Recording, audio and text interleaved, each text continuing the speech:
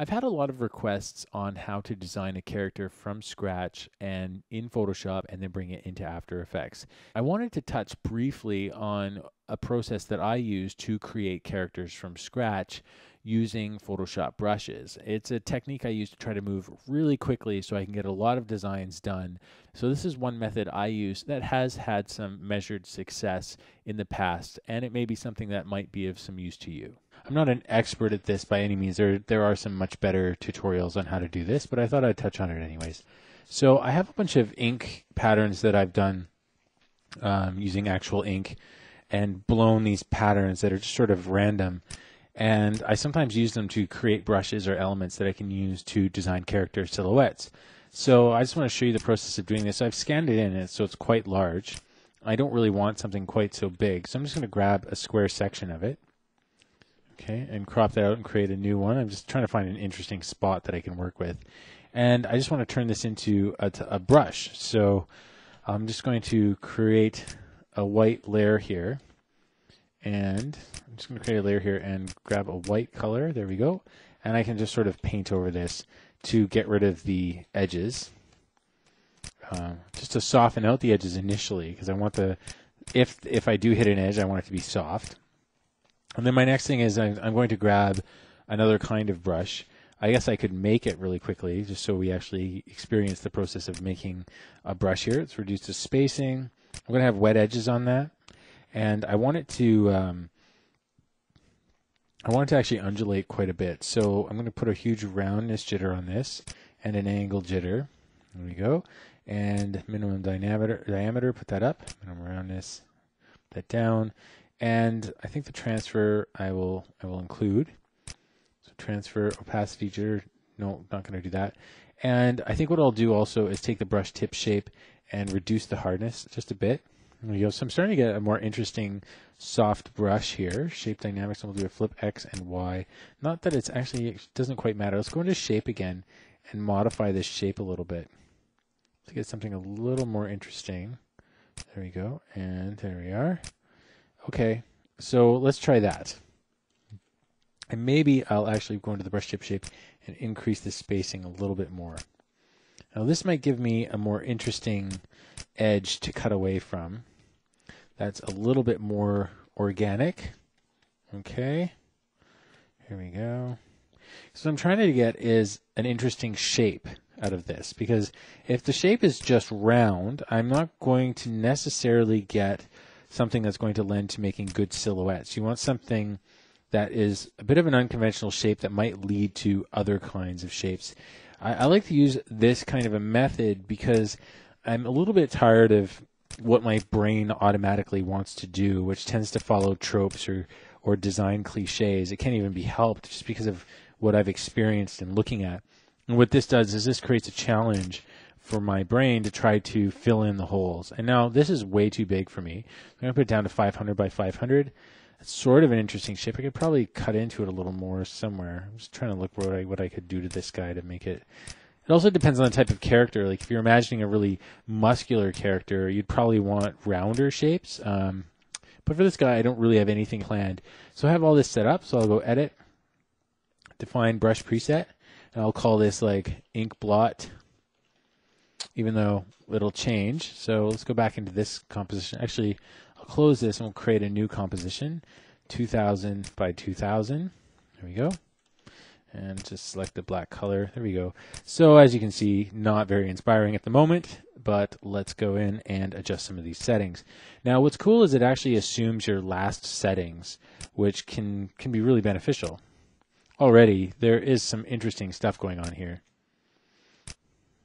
I think this may be a bit large, and I'm actually seeing that I'm getting some squares. See those squares? You may not be able to see them in this, but if I get really close, maybe you will. There's squares happening here. It's because I haven't cleared the edge properly in the actual file, the brush file. So let's go over to the brush file again, and I'm going to get my eraser and set it to zero opacity. Now what I want to do is I want to make sure that there is no transfer dynamics because if there is, it won't be 100% opaque around the edges. I'm going to increase the size of this. Oops. Let me actually, let's do Okay, we should be doing a brush here. Sorry, my mistake. Grab that again, reduce the size. There we go. And again, I want to make sure there's no transfer. There isn't. So this should be perfectly white. We're hoping it's perfectly white. Okay, so flow, everything's at 100%. Now, this should clear that edging problem that was showing up in the actual brush. All right, there we go. So let's try this again. Edit. Actually, first we'll delete the existing brush. So I have all these rotten brushes I want to delete. Delete. Okay. Scroll down. You can also do this in the preset manager. I don't really need that brush either. Okay. Scroll down. Delete. Okay. So, okay, I've gotten rid of those brushes. So let's do this again. Edit, define brush preset. There we go. I've got this brush now again, and hopefully it's a little better. So let's just swap that out. Okay, I'm not getting any square edges on that. That's good. Uh, whoops. Flip that color. Control X. There we go. So we're back to white again. Uh, don't don't uh, don't resist actually, actually sometimes working in black. I find sometimes working in black is more exciting, and I can get more interesting results because I'm not thinking of positive space. I start thinking of negative space. Uh, so, all right, let's just adjust this brush really quick before we get into that. So transfer, I want to transfer on that. Uh, do I want opacity jitter? Maybe a little bit. Flow jitter, don't know. Uh, we'll put that, uh, make sure that's to pen pressure. You obviously have these other variables, but I usually just use pen pressure. Um, maybe one day I'll use others. So let's get into the shape dynamics. Size jitter, put a bit of a size jitter on there. I do want this thing to be as, as random as possible. So angle jitter is fine all the way up. Flip X flips Y, that's fine. Now roundness, I don't want to jitter so much. Oh, maybe I do, but I don't want it to get to the point where it's a skinny little odd shaped thing. So let's see what we get here. Okay. Now, if I'm going to try to find a silhouette out of this guy, I can't just use the brush itself. Like there's there's got to be there's a couple things I'm going to have to do. So I have this brush. I'm going to make this brush ridiculously large to start with. Okay? And then I'm going to flip that color to black. I'm going to start making things here and see what comes to bear. Okay? So I'm trying to find some kind of interesting shape out of this that I can make. Like there is a sense of it in your mind. So if you're looking for something that's slightly humanoid, I'm going to swap between white and black. I'm going to adjust my size uh, to be appropriate. So if, I'm, if I want some sort of a head region, um, oops, that's too large. If I want kind of a head region, I'm going to create like a light area on the head. Maybe there's sort of a an arm or something or a torso section I need. That's too much, so I'm going to reduce the opacity down. I'm going to just keep trying things and undoing them. It can be a really weird way to work, but it actually can also be very interesting. So just keep doing this. You can use all sorts of different shapes. This might not be the best shape. So if you find this shape isn't really working for you, well, then obviously you can just try a different shape, you know, and, uh, oops, go back to my brush and flip that. So this would create kind of a webby, weird, spidery type feeling to me if it was like some kind of like a sea based animal of some kind. So there we go. I've created some shapes. I don't know. This might might just suck. Like who knows, right? But sometimes it's fun just to try to get shake up your your approach a little bit. So now what I can do is go back to a more conventional brush and shrink down its size and just start thinking of what shapes I'm finding in here. So if I see things, uh, there might be interesting things in here. Like this might be an interesting thing. Like there seems to be this crater. Maybe that's like, maybe that's in the head. Let's zoom in here. Maybe this is actually like a head here, and there's sort of this like cratery section. Step back a bit. I'm just try to move as quick as possible. I don't want to spend too much time um, fussing around because this is really uh, the the earliest stages of a design, right? We're just trying to find something here. So there's something here which might be interesting. Um, I mean, I think the better way to go go go into something like this is with some sense of preconceived idea of like what you're going for, um, because I I right now have none, and I I don't really even know what I'm getting out of this. Like, am I looking for something humanoid or am I looking for something completely alien? uh, that's that can be a big question. If you're looking for something humanoid, like I've just done some drawings on here, maybe let's get rid of that and let's see if we can find like a humanoid shape in here. I can almost see in here, uh, let's grab that brush. There's almost like a bit of a nose here, and because I'm working in black, I can kind of I, I can just define the highlights on the nose. So there's there's a nose in here, a very a very strange nose, and I actually can see some lips too. There are some lips in there and a, and a chin in there. But maybe this this face, maybe that the lips don't come here. Maybe there's something on the face, something crazy up the face, growing, or maybe it's a part of this character. There's something there, but there there is kind of an eye in there as well, if you can see that, and that should actually be more of a black. Um, oops, let's flip that. That's like the black there. And we're gonna grab this, and this will be the top of the eyelid here the bottom. Like who knows? I'm just I'm just trying to come up with something here, and maybe this is like some kind of a strange, mm, I don't know, like head thing or hat or who knows, who even knows? There's something there. I don't know what it is. It's just kind of a a jumping off point for some kind of inspiration. Really, that's all it is. And uh, maybe this is like a weird like costumey collar of some kind. Like it goes like this. I'm starting to see this here. There's a, it's kind of a fatter man. Oops. Let's go back to the brush here and switch those colors. So trying to use much, I'm just trying to use black and white, just keeping it as easy to use as possible. So he's got some sort of thing going on here. And maybe there's like this weird brain channel thing. Who knows what this is, but he's not, humanoid, but not quite human.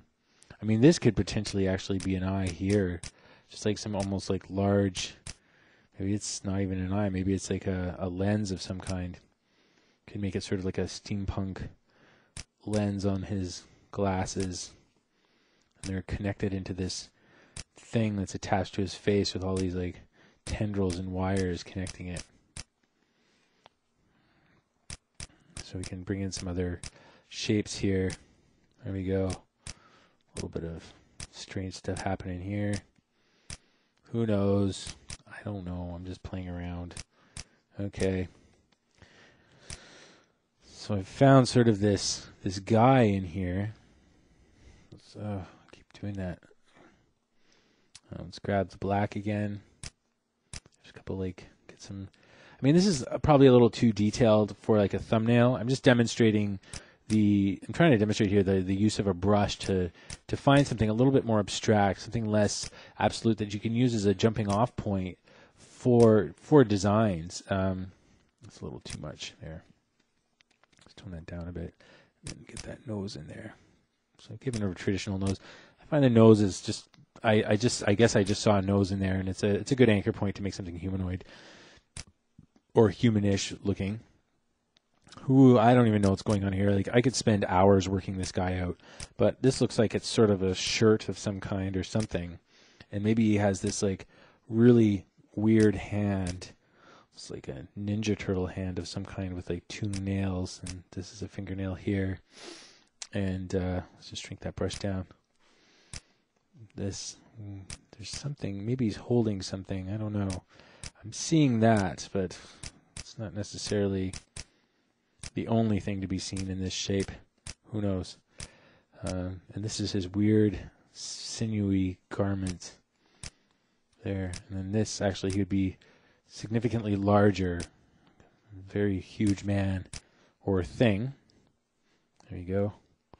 And I don't know what, whatever he's holding, who knows? Doesn't quite matter. Maybe he's actually sitting in a giant chair, and this is like a, a weird almost like a pipe of some kind. He has a a terrible smoking habit. There we go.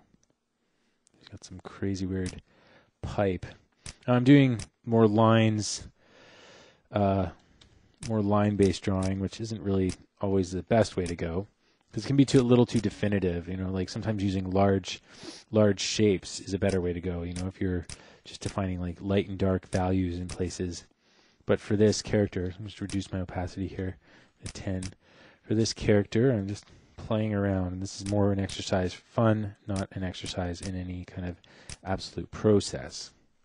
Okay, so we've got this big guy here. Let's get that black in there. Maybe put that to 30. Drop that brush size down. It's crazy weird. And now this like wire, this like thready web meshiness can be part of his his outfit, or you know maybe it's part of their culture. It's part of the ornamentation of that of that dress, of that garb. Switch that. Reduce this brush size. So he's got these like crazy cuffs maybe that are like ornamental and, and really elaborate. There you go. So he's got these wild cuffs around his wrists. They're like those those old Victorian time dresses. There we go. And he's got these little frills in places. Maybe even around here, he's got this frilly frilly collar. So this frilliness um, comes from the inspiration from the actual like inkiness of the of the pattern that we found. So there's a, a design coming out of that, which would not necessarily have happened if I hadn't just been experimenting a little bit. Maybe these wires connect to his glasses. These are very cliche steampunk glasses. There we go. Let's switch this to black and get some shadow in there. So I don't want to spend too much time on this because it's really it's really just playing around and, and experimenting with with what you can do. So now that we've got sort of a, a character pulled out of there, I can go in and a little more aggressively create some lights and darks, push some things around, and start to further define this character.